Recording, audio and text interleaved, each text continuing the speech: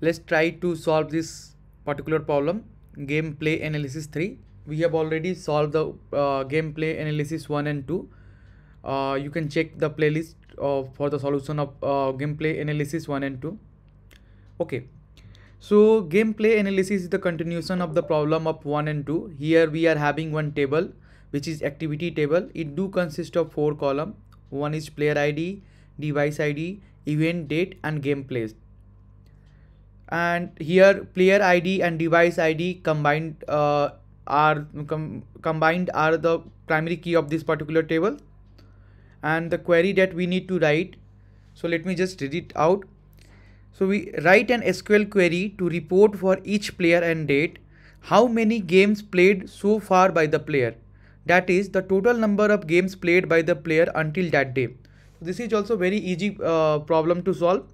So what we have to do uh, we have to find uh, we have to find uh, we have to find player id the event date and the games number of games played so far. So the for player id 1 as the uh, he has he or she has logged in for, for the first time for this particular date so game played is 5 but when he whenever he or she has logged in again then uh, the games played will be 6 plus 5 and that will be equal to 11 for this particular player id uh, likewise for the player id uh, 1 uh, for this particular date it will be 11 plus 1 that is that will be 2 and for player id 3 so player id 3 has logged in mm, for this particular date uh, for the first time so the uh, games played will be 0 and for the this particular player date it will be 0 plus 5 that will be 5 so uh, i think you must have guessed the answer uh, till now so here we will be using the windows functions and we will be simply doing the code. We will simply using the uh, doing the sum of this game played and we will partition by on player id and then we will just do the sum um, uh, we, we, will do the uh, just do the sum and that will give us the answer and we will order by using the uh, event date. Okay. So here we can write the code here itself. So what we need to do select player id event date comma sum and we need to sum games played right? Cool. And then we will be doing oh, using over and we will be uh, doing the partition or partition by which column we have to do the partitioning? Uh, so we will be doing par uh, partition on player id right? Because we want to uh, we want to um, sum the games played by that particular player. Uh, so we will be doing partition by on player id cool. Let me just make it uh, refactor the little bit so it will look little better.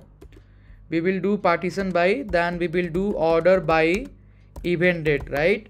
And what will be uh, the order? It will be ascending right and uh, we can name it we will do the alias we can name it games played so far. Cool. And i think this will give us the answer. Do we do we need any order? No we, we can return the result in any order. Okay cool.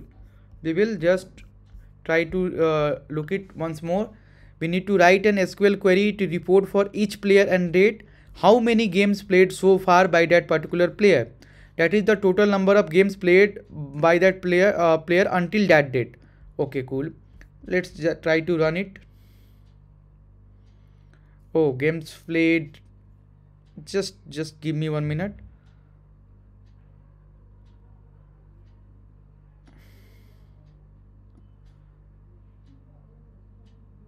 Oh sorry. There is some typo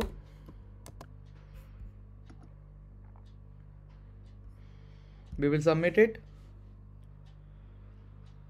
It is done. I hope you you are able to make sense of uh, these particular solutions.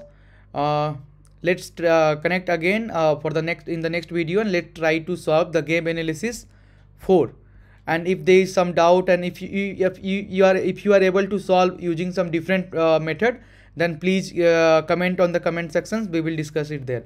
Thank you. Thank you very much